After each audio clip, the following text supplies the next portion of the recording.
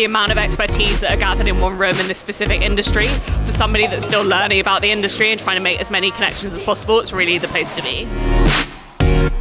Every year it keeps to kind of outdo itself the audience the crowd it brings uh, and not to mention the, uh, the lunch options as well.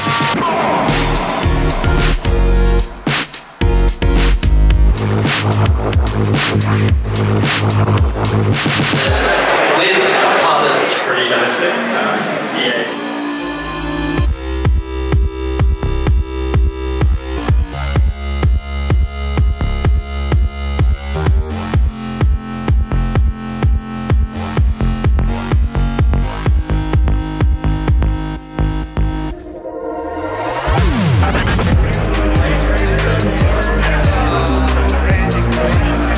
venue seems to be a lot more open and the quality of conversations this year I think we've spoken to people literally from across the world so for me yes there's a business bit about you know we want to do more stuff but actually for me it's all about seeing friends and colleagues of which James is a dear friend of mine Thank you, thank you very much. Ah, oh, that's very kind of you. I'm glad we get on. Let's go see what's happening. Let's let's talk to some people and see if we can we can offer the solutions that we offer in, in film and TV to, to, to this sector. I like these kind of events. I think they're important and specifically for people that are not from the industry because everyone else, they know each other. It's a very small family.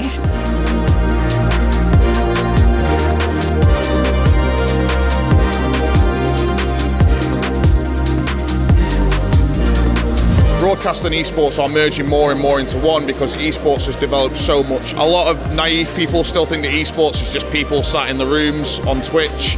It's a lot more than that, and we've, we've recognised that and we embrace that.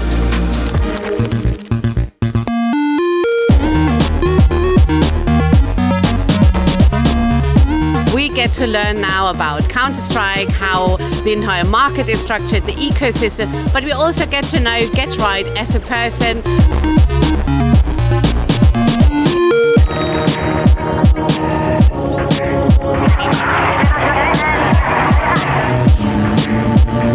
Try and see if I get one kill on him.